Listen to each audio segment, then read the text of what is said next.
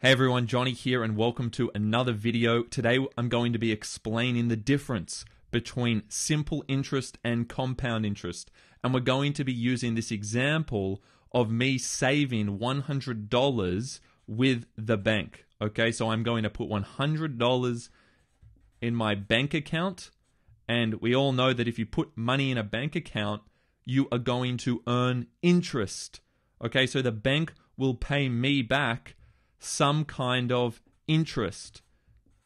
This is not the only situation in which a simple interest or compound interest problem would arise. It's not always with the bank. It's not always to do with you saving money or borrowing money with a bank. It, there could be other situations, but to simplify it down, I'm going to actually just use this basic example of me saving $100 into a bank account and I'm going to earn interest which is money that I'm earning on top.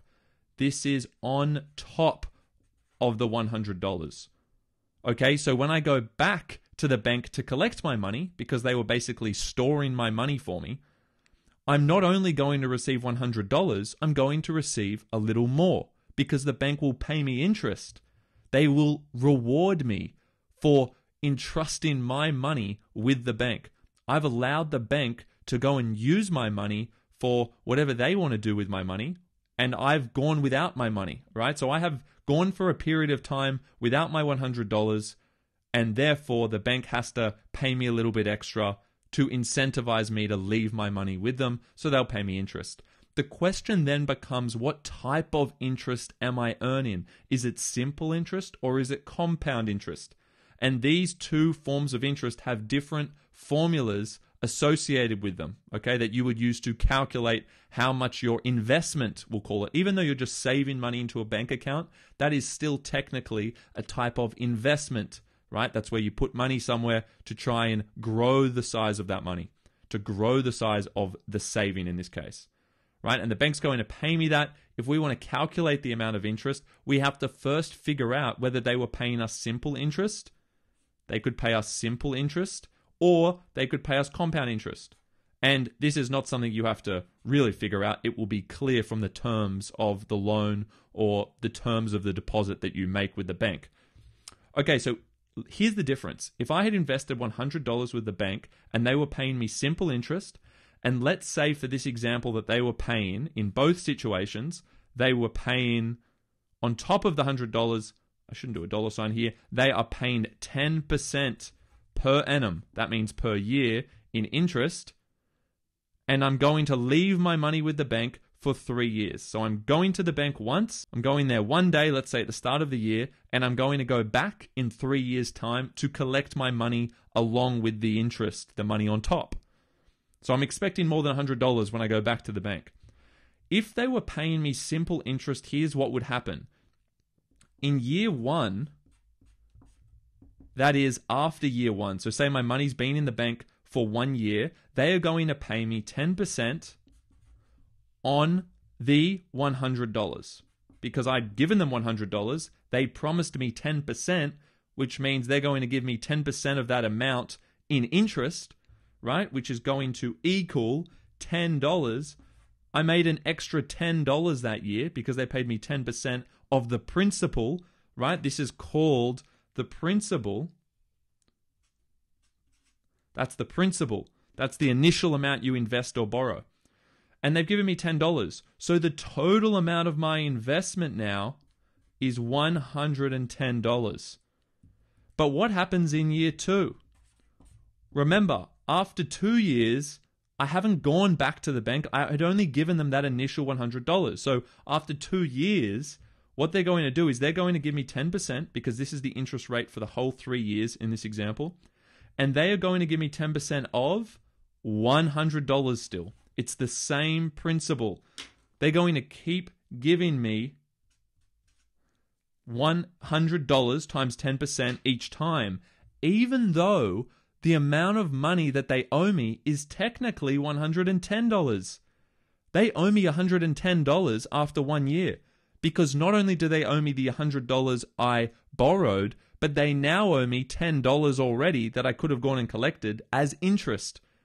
So the value of my investment, of my savings right now, is $110 after one year. And then, despite that, in the second year, they're still only going to pay me 10% on the initial $100. They are not giving me 10% of the new amount that I have saved with them based on the interest I already earned. So just remember with simple interest, you're only ever earning interest on the original amount saved or borrowed. They do not update that amount each year. So again, I earn $10, which means the total amount of my investment right now is $120. Let's say I still don't go back to the bank, so my money, my initial $100 is still in the bank, plus the bank has actually paid me $10 twice now, but they haven't actually given me that money. That has just added to the account that I have with them. Okay, so imagine that the bank said, hey, after one year, we owe you $10. I said, just add it to the $100 that I initially paid you. Okay, so I don't touch that $10 interest each time. I just say, add it to the account, add it to what I have in my savings. So right now, my savings account is $120 after two years. And despite that, they're not going to give me 10% interest on that 120. They are going to still give me 10% interest on the initial $100. It's still based on that original principal, right? The initial amount. So there's no updating. So again, I'm left with $10 in interest, which means the total, the end total that I make is $130. When I go back to the bank in three years' time, they hand me 130. But just keep in mind, this is the crucial distinction. They've only been paying me 10% of the same $100 that I put in at the start, and they have never adjusted that, even though technically the amount I had saved with them each year was growing. I technically had $110 after one year with them, and yet they didn't pay me 10% of the $110, they only paid me the 10% of the original amount. So it doesn't seem quite that fair when you look at it like that. But compound interest is a much better option here. This is at least from the perspective of the person who saved the money. If you're the one who's borrowed the money from the bank, then you would like simple interest because it means you are not having to pay more interest each year because they're updating that amount. But in reality, that's not really what will happen if you borrow money from the bank using a credit card or a mortgage, you are going to be dealing with this form of interest. This is the more popular this is the more popular form of interest, compound interest. Here's what will happen in this scenario. Remember, you've still borrowed, or sorry, you've still saved $100, still getting 10%, and you're leaving the money in there for three years. Okay, but here's what's going to happen. The first year, of course, they're going to give you 10% of the $100 you saved with them. So that means you make $10, which means the total value of your savings now is $110. But in the second year, here's what happens. This is the interesting part. You still get the 10% interest rate because that rate is the same for three years, but it doesn't multiply by $100. Instead, what happens is because the amount of money you have saved with the bank is not $100 anymore because you earned $10, which then added to the $100, the amount of money you have saved with the bank as of the second year and for that full year was 110. So they update they update the amount that you have saved with them and they will calculate the interest accordingly. So the crucial word here is that from 100 to 110 they have updated. They have renewed they update the principal. So they don't just keep giving you 10% based on that initial amount. Because technically you have updated that amount, because the $100 has become 110, in the second year they'll give you 10% of the 110. So that's much better for you as someone who's saving money because guess what? 10% of 110 is $11. So instead of only making $10 in the second year, you make $11, which means the total value of your savings after two years is $121, not $120.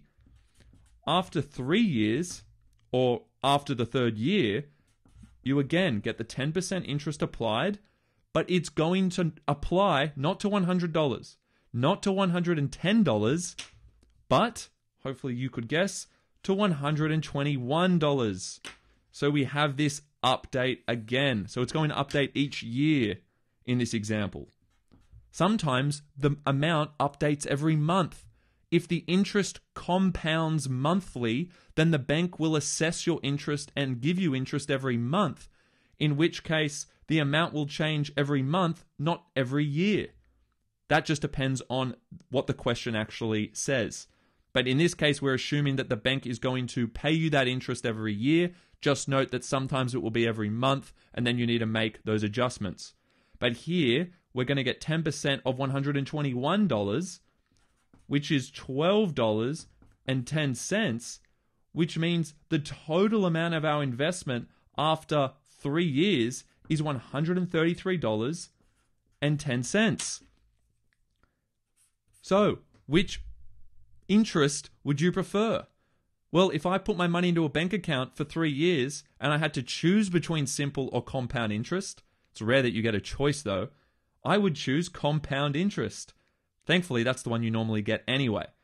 But see how you make $133.10. Your total interest there is $33.10. That's greater than the $30 of interest you made under the simple interest plan. So that's the difference. The key difference is that when someone is calculating interest in accordance with a compound interest formula, what they're really doing is they are updating the amount to which interest is applied every period that you are getting interest uh, paid to you. So here it goes from $100 to $110 to $121. You get 10% each time, but the amount is growing. It is compounding. So you're going to end up with more money. And that's the key difference between simple interest and compound interest. And that is reflected in the two formulas, which you can see in more detail in our other videos. Thanks so much for watching. Please like this video if you enjoyed it, if you got some value from it, and subscribe to the channel. And please leave any comments below if you have any questions or thoughts on this. Look forward to seeing you in the next video otherwise.